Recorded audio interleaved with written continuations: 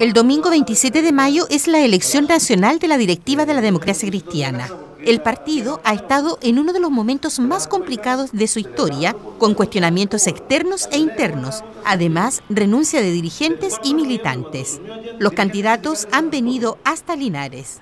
Una de las virtudes de un partido democrático como la democracia cristiana es que tiene una gran capacidad autocrítica y por lo tanto esa capacidad autocrítica a veces es mal entendida por los propios militantes y por la gente que escucha.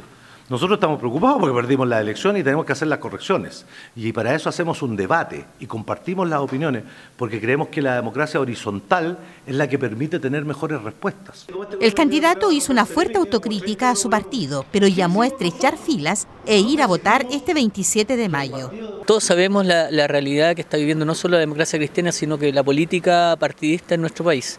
Y eh, en, la, democracia cristiana tenemos dos eh, visiones bien... Eh, contrapuesta de lo que puede ser la democracia cristiana, dos apuestas también muy distintas eh, y en este eh, caso lo que yo creo el denominador común es que consideramos que seguimos siendo eh, un partido con una ideología, con un peso político y sobre todo con una trayectoria que tiene mucho que ofrecerle al país.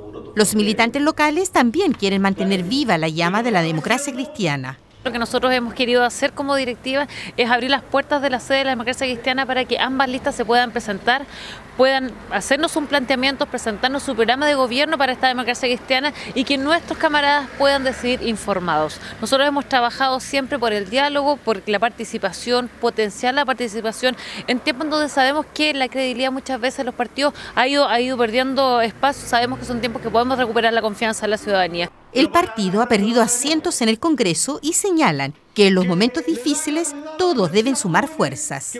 Hagan un acto de soberanía. La democracia cristiana te necesita participando en sus elecciones y ojalá tú estés también por cambiar la conducción política para abrir una senda de triunfo y de búsqueda de una coalición política para hacer alternativa en Chile.